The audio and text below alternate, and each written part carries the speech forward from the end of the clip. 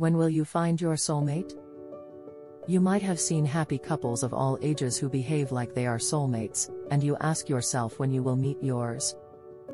It is normal to ask such questions, especially when you have been through heartbreaking relationships and maybe even divorce.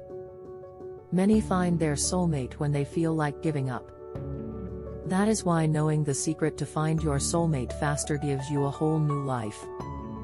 That secret is balancing your soul to be receptive to your soulmate's energy. The quest for finding that particular person in your life can keep you searching for several years.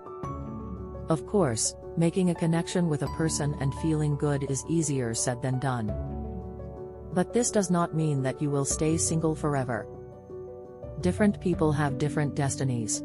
Likewise, the age you will find your soulmate can be different from that of your friends.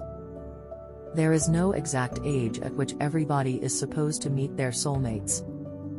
Furthermore, the period can differ from one person to another depending on several factors, including gender.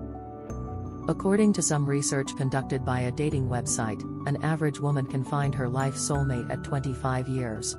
While a middle-aged man is likely to find them at 28 years of age. To learn how to make your soul attractive and receptive to your soulmate, go to soulmatewire.com. I also have a free guide titled, Avoid These Three Dangers to Sort Your Real Soulmate from the Duds. Until next time, this is Sarah and please use the link below to discover how you too can discover the secret.